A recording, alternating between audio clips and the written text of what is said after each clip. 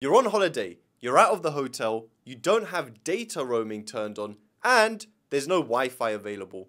It's a pretty bad situation, but you have this problem.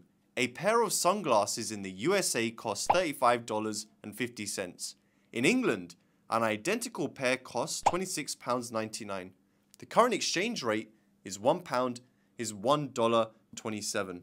In which country are the sunglasses cheaper? Now I'm going to show you both ways.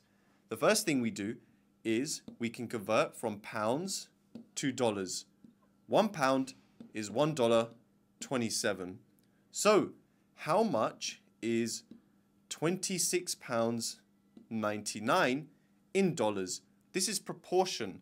All we need to do is multiply by 26.99.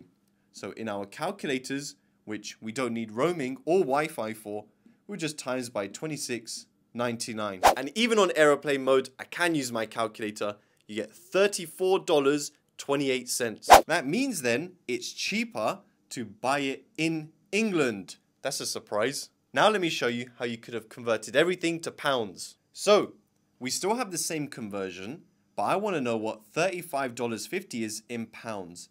Now, before I had 1 and the number here, so I just needed to multiply by the 26.99. But when this number is not 1, all you need to do is a division. So you're going to divide 35.50 by 1.27. Let's check that on the calculator.